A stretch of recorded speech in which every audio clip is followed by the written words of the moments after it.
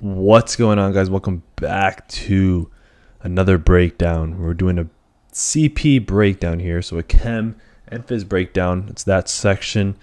Uh, I'm going to show you guys how to read the passage, how to you know make all the details make sense, how to remember the details in the passage so you don't forget them when the question asks for it. I'm going to show you guys how to pick the best answer, where to highlight, all that stuff. So before I go ahead and break this down, do it on your own first.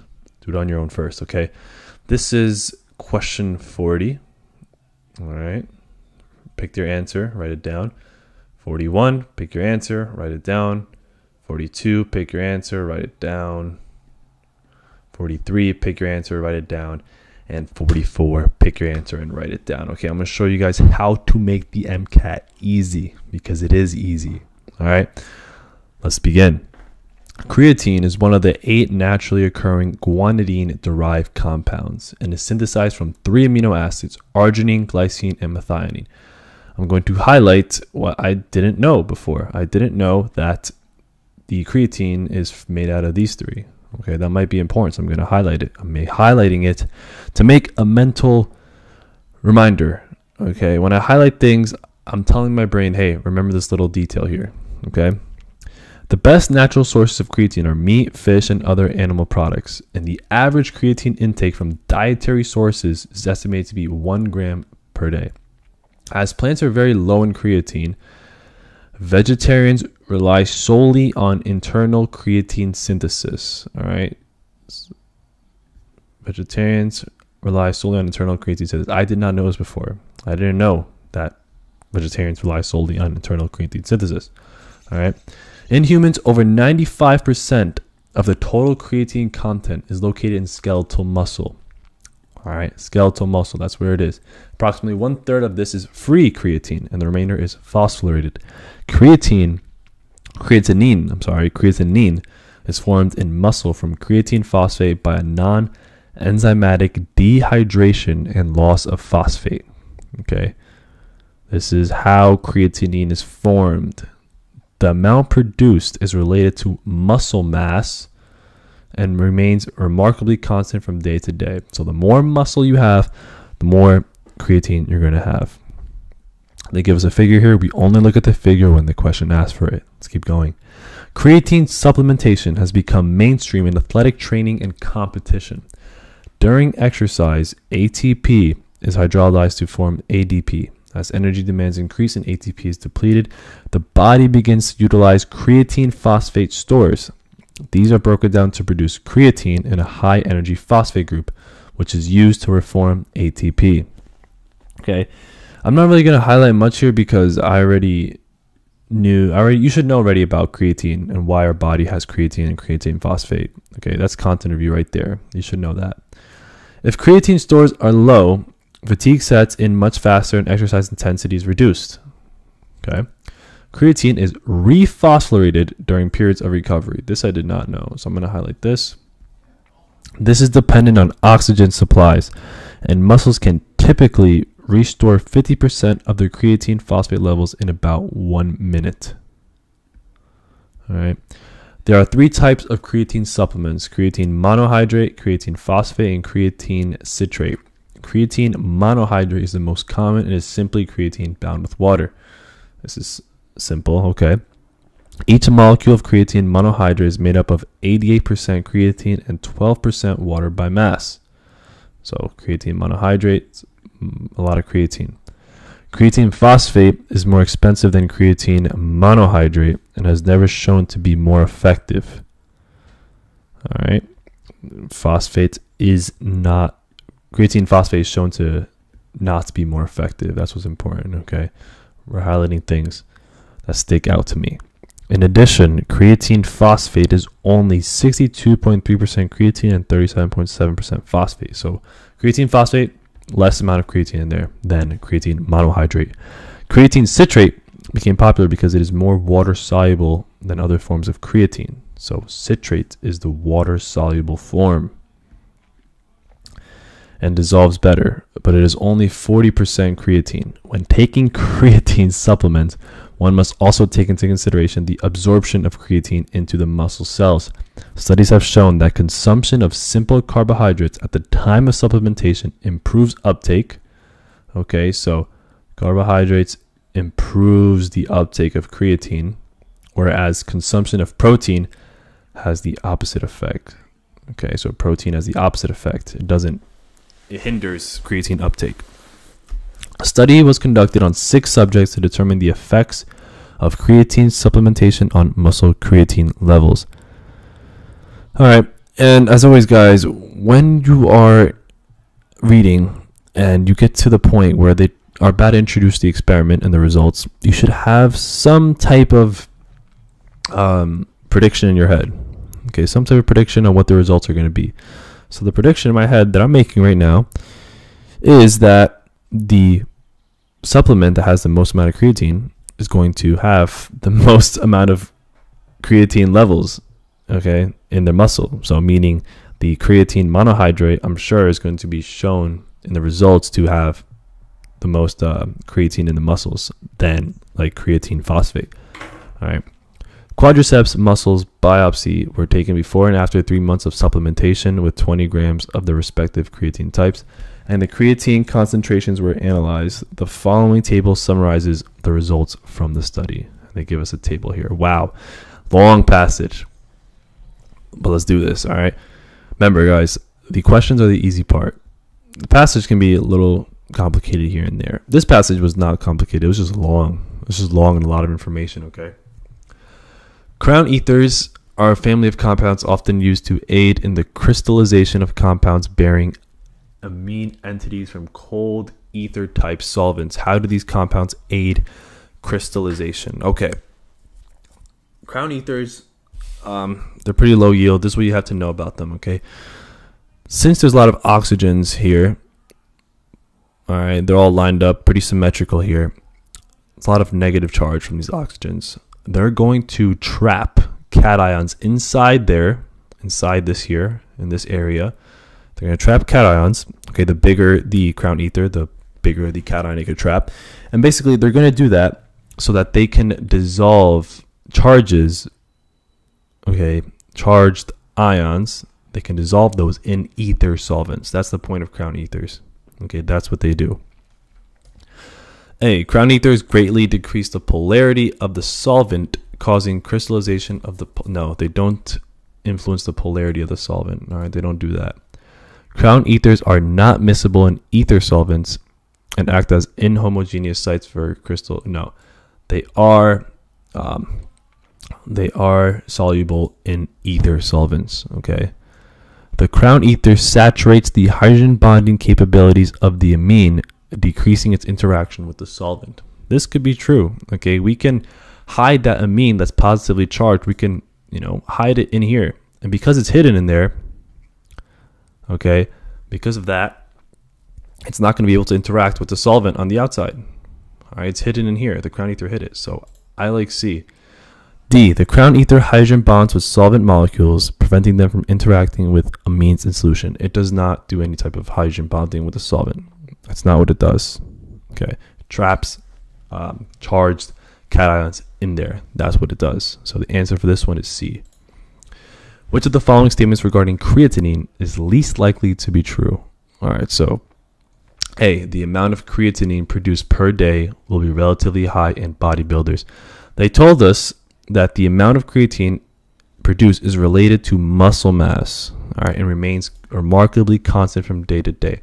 So this is true. The more muscle you have, the more creatinine you're going to have. So this is wrong. Okay. Allosteric regulation does not affect the formation of creatinine to creatine. Well, here's creatinine and here's creatine. There could be some types of regulation, okay? Whenever you guys see um, rate limiting, you know, one arrow, not the double arrow, that means that there could be allosteric regulation going on here. All right. So this is true. So this is wrong. Vegetarians will produce less creatinine than meat eaters. Vegetarians they can they, they won't produce less because they rely on internal creatine synthesis. Okay, remember we highlighted that. We highlight things we, to remember the details. Right, if you did not highlight correctly here, you might have would have got this wrong. All right, you might have overlooked that. So this is orangutans will produce less creatinine than meat eaters. This is least likely to be true. Okay, they produce the same. They rely on internal creatine synthesis. All right, D in general, males will produce more creatinine than females. Males have more muscle mass than females. Therefore, they will produce more creatinine. So D is correct. Process elimination, the answer is C. Hope you guys got that one right. Let's keep going. If a mutation rendered creatine phosphokinase non functional, which of the following is most consistent with feedback inhibition of this biosynthetic pathway? All right, let's see. Where's the oh here's the pathway, and here's creatine phosphokinase. If we render this one non-functional, so this one's not working, what do you think is going to happen? All right, so this goes to this, this makes this, this. Oh, we can't make creatine phosphate, so we're going to have elevated levels of creatine. All right, because we have elevated levels of creatine, this is going to have a feedback. It's going to have a feedback saying, hey, stop making, stop making all this. All right, this is going to go be a feedback. Could be on this, could be on this, it could be on anything here. Most likely, it's going to be on, I believe, this one here because we're making ornithine here. So most likely, it's going to act on this one. All right, is it going to increase or decrease these levels? Well, inhibition inhibition decreases. So we're going to be decreasing something here. All right, so we're going to be decreasing arginine, to be decreasing glycine, or we're going to be decreasing guanidoacetate. So A is wrong. Okay, we could have increased creatine levels, but they talk about inhibition. All right, so that's not what the question is asking. The question is asking consistent with feedback inhibition. All right, when we're inhibiting, we're decreasing something's levels decrease guanidoacetate levels. This is correct. Okay, we're decreasing the um, a substrate in the in the previous steps here. Okay, we're decreasing this. This makes sense. We're inhibiting through feedback, negative feedback. Increase creatine phosphate levels. This is wrong. Okay, this is wrong. If we are inhibiting this, we're not going to be able to even make creatine phosphate. Okay, decrease creatine phosphate levels. Again, we don't have any information on this all right. Although actually, this is true. We're gonna have decreased creatine phosphate levels if we're not even having this is blocked. All right. So it could either be B or D. However, inhibition feedback, a type of feedback would go feed back to the pathway. Okay. This is in front of the pathway. We need feed back back to the pathway. Therefore, 42 is B. Bacteria can make amino acids that are not found among the 20 amino acids of mammals' bodies. Which of the following amino acids might be found in bacteria, but not in the body of a mammal? Okay, let's look for an amino acid that's not in our bodies.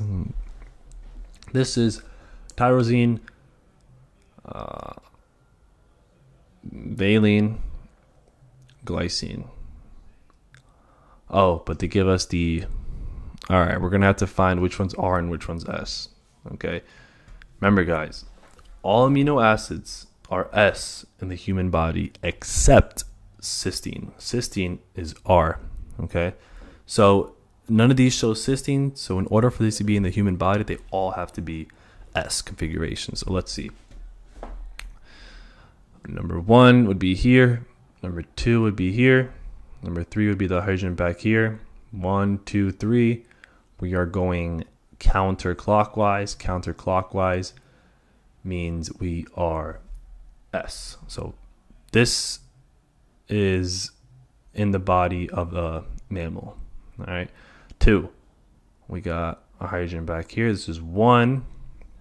This is two here. I'm doing the priority groups. All right. Comment down below if you want me to make a video about this. It's pretty easy. All right. One, nitrogen has the highest priority and then followed by this carbon because this carbon is bonded to an oxygen oxygen so one two then three so one two three i'm going in a counterclockwise. All right.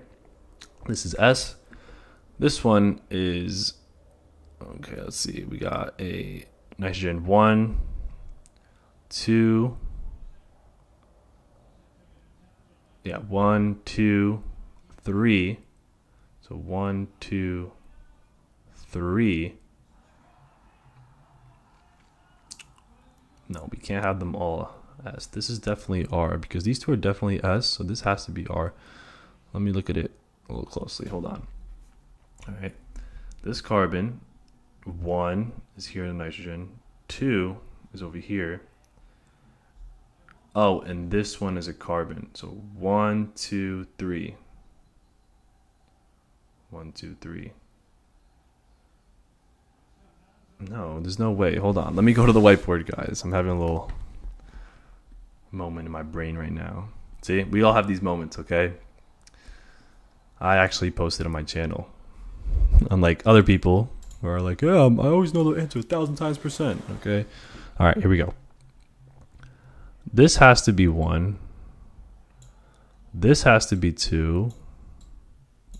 And then this has to be three. Oh, okay.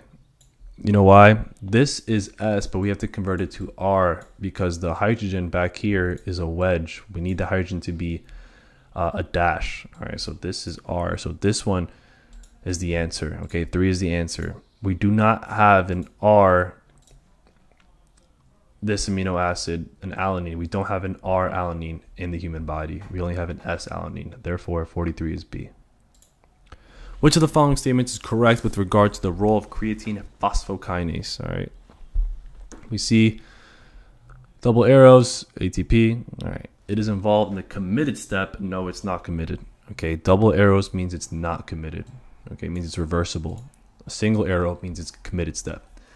Stabilize the transition state in the formation of creatine from creatine phosphate. Yeah, it's an enzyme. That's what it does.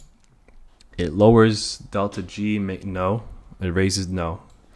Enzymes do not affect the delta G. They don't affect, they don't make something spontaneous. Enzymes do not have that ability. Enzymes only have the ability of stabilizing the transition state so that a reaction can proceed faster. Okay. So the answer for this one is B. All right, and that's all right, that's it for this video, guys. Hope you enjoyed it. Subscribe and let me know what you guys think. I'll see you guys in the next video.